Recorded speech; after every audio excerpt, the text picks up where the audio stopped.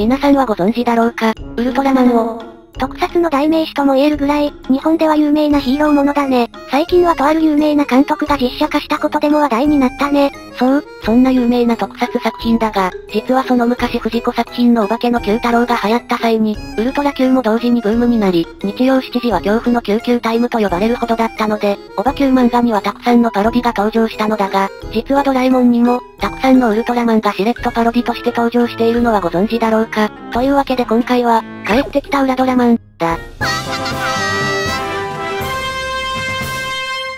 というわけで今回は、ドラえもんに数多く登場するウルトラマンのパロディについて解説していこう。冒頭でも少し述べた通り、オバキューの時から世間はウルトラマンの一大ブームになっており、その影響を受けてか、ドラえもんでは主に初期の方にウルトラマンのパロディが多く登場しており、例えばコミックス6巻本物図鑑では、本物図鑑から出てしまったマンモスを止めるために、のび太が同様に図鑑から味方を出すのだが、その中に、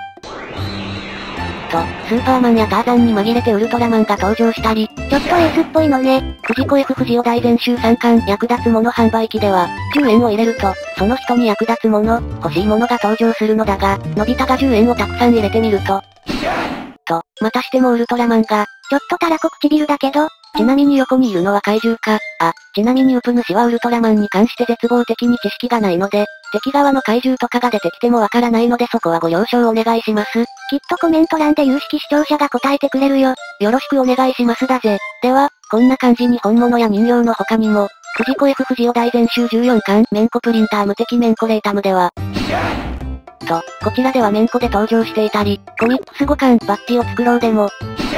と、ウルトラマンっぽいバッジが登場していたり、これは半分バッタの血が流れてますねそして最後に、大長編10巻ドラえもんのび太のアニマルプラネットでは、ママが環境問題に関して、2ページ近く使ってのび太に言い聞かせると、知らなかった。僕たち、人間のために動物や植物がそんなに迷惑してたなんて、地球を守るためか、こればっかりはウルトラマンにも頼めない。と、環境問題は超人でも解決できない問題だと理解するのであった。ウルトラマンって普通に言っちゃうのね。作中唯一とも言える直接的な表現だったな。というのも、やっぱりパロディとして出だすならともかく、文字で表現する際は、やっぱり微妙にぼかして使うことの方が圧倒的に多くてだな。例えばコミックス17巻主役はめ込み機では、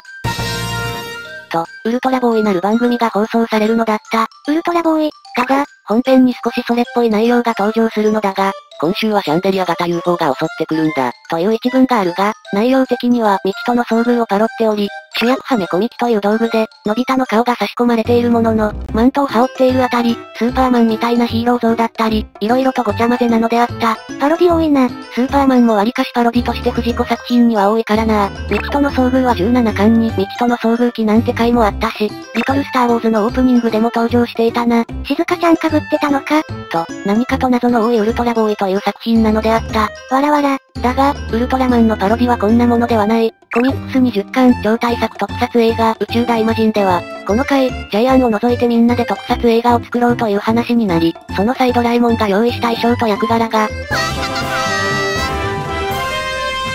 どっかで見たことあるような裏ドラマンが登場するのであった。やっつけ感半端ない。ちなみにこの回のウルトラマン要素はこんなものだが、余談として、実はこの作品が連載される約3年前、同じような話が同作者のキテレツ大百科でも掲載していてだな。その名を宇宙海魔人という。結構まんまだ。うむ、この回だとドラえもんではなく、コロスケが紛争をするのだが、残念ながらこちらではウルトラマンではなく、作中に登場するグランドロボなのであった。あら残念。ただ、ヒロインであるミオちゃんが、一点ウルトラガールをやってみたかったのよ。地球を守るため大暴れするの。と、ドラえもんではウルトラボーイだったが、こちらではウルトラガールが登場するのであった。結局ウルトラマンパロってんのかーい?うむ、もし本編が気になるならキテレツ大百科の大全集2巻を買ってみてね。では話はドラえもんに戻して、まだまだ続くウルトラマンパロディ。次はコミックス26巻テレビ取り持ちにて、ジャイアンがテレビをつけてみると、セブンイレブン、いい気分。と、24時間近くて便利なヒーローが登場。いや、色々混ざってる。これウルトラセブンがパロディなんだろうけどコンビニが混ざっとるわ。このなんとも言えない感じがたまらないな。しかも敵にはバルタン星人っぽいのもいるし、ここは完全に狙ってきてる感じがあるな。ついに敵キャラまで。ウプ主はそんなに詳しくないけど、それでも見ただけでわかる感じがいいよな。といった感じに、今回はテレビに登場するウルトラマンを紹介したのだが、現実のウルトラマンがいろんなテレビシリーズがあるように、なんとドラえもんの世界でもいろんなテレビシリーズが放映されている。まだあるのか？藤子 F 不二雄大全集3巻、魔法の時計では、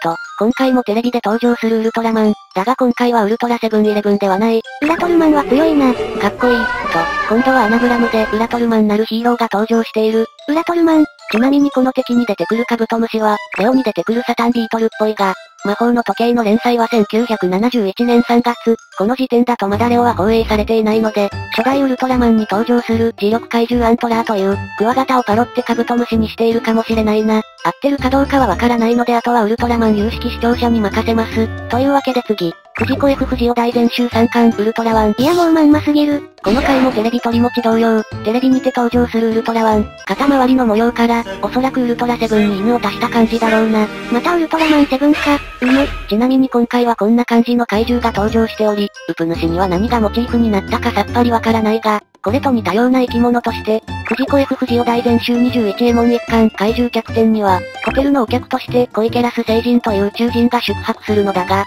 小池ラス、これラーメン大好き小池さんか。そう、だが今回見てほしいのはここではなく、この、小池ラス星人をおもてなしするのに、20エモンが50年前のテレビ映画をお客に見せて、懐かし名画祭を行う予定だったのだが、その放映された映画が、だと、ウルトラマンっぽいやつが小池ラス星人、ではなく、鈴木ラスを倒すという映画なのだった。いや、ツッコミどころ多いな。とどのつまり、小池さんの元ネタになった鈴木さんということだろうが、今回言いたいのは、この鈴木ラス、雰囲気だけだと先ほどのウルトラワンに登場する怪獣に似ていないだろうか。ああ、確かに顔周りに草っぽいところとか、目が上下写真になってるの小池さんの特徴だしね。うむ、そうなのである。つまりこのウルトラワンに登場する怪獣は小池ラス、かもしれないぜ。ただこの小池ラス自体、小池さんに何かウルトラマンに登場する怪獣を混ぜたかもしれないから、その辺はわかる人教えてくださいな。ウルトラマンがわからなすぎて解説がおぼつかないわね。そこは申し訳ないんだぜ。というわけで色々あったが、話を戻して次に行こう。藤子 F 不二雄大全集5巻本物ライトでは、ウルトラマンは強いんだぞ。と、今回もウルトラマンではなく犬のブルドッグか、ウルトラマンなるヒーローが登場するのだった。見た目はどちらかというとミラーマンっぽいけど、うむ、でもおそらく名前のモチーフはブルドッグだろうな。どうしてなの？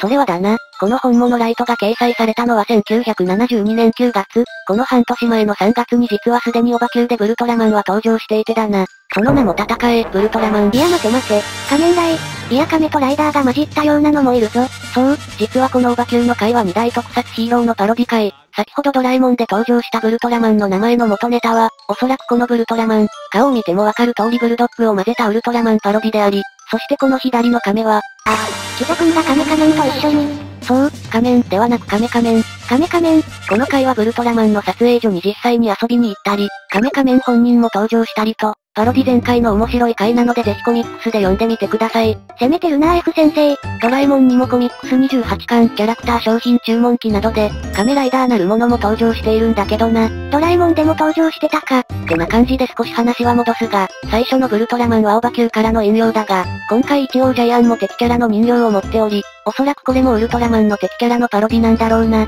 なんかどっかで見たことあるような敵だね。うむ、でもウプ主にはわからないので以下略。では最後に、とっておきのウルトラマンパロディ会、藤子 F 不二雄大全集15巻ウルトラヒーロー。もう表紙からわかる通り、この回にはのび太とウルトラマンを足したようなヒーローが登場するのだが、その敵の怪獣のラインナップがすごいのだ。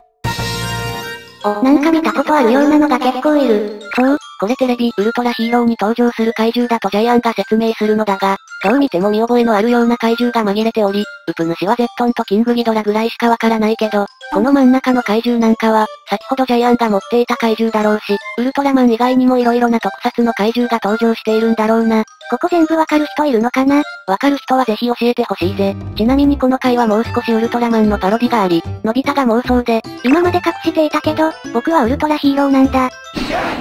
と、さっきからネタで挟んでいたシュワッチを本当に言ってしまうのだった。大丈夫なのかこれ？まあ多分平気やろ。というのも、このシュワッチに関しては色々あってな。実はこの回だけでなくても、外長編2巻ドラえもんのび太の宇宙開拓史では、正義を守るため、行け、のび太スーパーマン。と、ここでも空飛ぶ時シュワッチ、大長編19巻、ドラえもんのび太の宇宙漂流記でも、リアンがアルマジロの暴走に巻き込まれた際、のび太がタケコプターで救出に行くのだが、その時の掛け声はもちろん、わらわら。とまあ、原作でも空を飛べばこの掛け声が響くのだが、シュワッチといえば、藤子作品で縁が深いのはドラえもんではない。どういうこと？そこはやっぱり、パーマンであろう。え、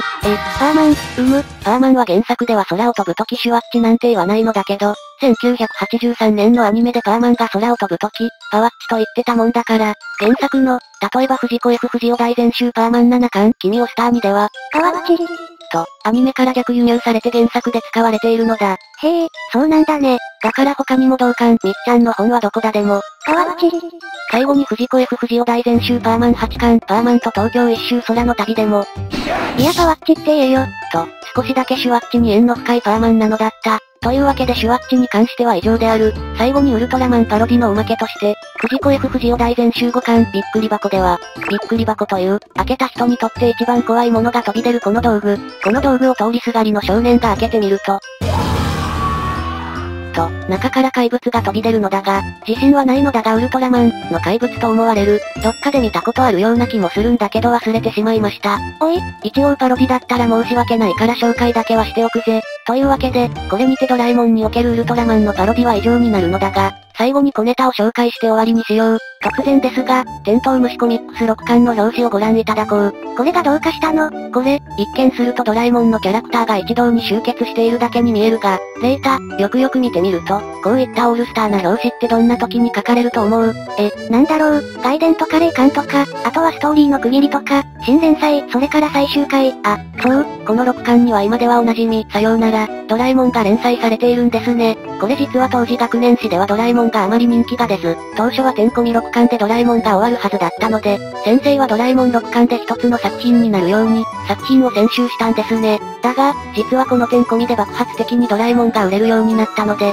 本来であれば6巻に、さようなら、ドラえもんを入れなくてもよかったんですが、先生は6巻でまとめると最初に決めていたので、そのまま、さようなら、ドラえもんが掲載されました。実はてんこみの1巻って1974年8月1日に発売されて、最初の6巻だけは1ヶ月おきに発売。なので2巻は9月、3巻は10月、4巻は11月、5巻は12月、6巻は1月、そして肝心の7巻は2月、ではなく、5月25日に発売されました。そうなんだ。じゃあ読者はてんこみ毎月出てたのに、6巻で最終回でたから本当に終わっちゃったって思ったんだね。でもなんで5月に復活したんだろう？それには、なんとウルトラマンが関係しているのだ。えー、ここに来てウルトラマン。そう、元アシスタント海老原武史先生の著書、藤子スタジオアシスタント日記マイッチング漫画道によると、郷土スタジオのテレビでウルトラマンの放送が始まったらしく、そのタイトルを帰ってきたウルトラマンという。これですよ先生。ええー、なるほど。帰ってきたドラえもんか。何かインパクトが欲しかったんだがいいアイデアだね。なんと、ドラえもん復活のきっかけはウルトラマンだったのです。とあり、帰ってきたウルトラマンがきっかけで、7巻度頭に帰ってきたドラえもんが連載されるわけなんですね。まさかのあのタイトルや再会がウルトラマンの原因だったとは。そう、ウルトラマンのおかげでこの先45巻までてんこみが続く要因になったんだな。ウルトラマンには感謝しないとだね。うむ、ただ一応補足しておくと、この帰ってきたドラえもん自体は、てんこみを出す前から、1974年4月にはすでに同タイトルで雑誌に掲載していて、7巻のために連載されたわけではないこと。そして先ほど、帰ってきたウルトラマンが6巻の発売後に放映されたみたいに感じるが、6巻は1975年1月、帰ってきたウルトラマンは1971年4月2日であるため、当時この時期に再放送していたか不明だが、再放送してたなら見たのか、もしくは時期的にはウルトラマンレオの放送の最後の方だけが被るので、そのどちらかを見て、7巻に帰ってきたドラえもんを入れたのかもしれませんね。なるほどね。まあどちらにしろ、帰ってきたドラえもんはタイトルからしてウルトラマンを意識しているのは間違いないので、ウルトラマンには感謝しないとですね。というわけで小ネタは以上。これにてウルルトラマンのパロディも以上なのだが、冒頭に少し述べた通り、そもそもウルトラマンと最も速い接点を持つのは恐怖の救急タイムでおなじみ、お化けの九太郎であり、もちろんそちらでもドラえもん並みに多くのウルトラマンが登場しているのだ。オバキューでもか、うむ、なので次回を最後にオバキュー、そして他の F 作品にも登場するウルトラマンを解説していこうと思うぜ。まさかの2パートの動画か。たった1作品なのにものすごくパロディが多いウルトラマン。次回もお楽しみにお願いします。というわけで今回はここまで。ご視聴ありりがとうございました。ご清聴ありがとうございました。またのご利用をお待ちしています。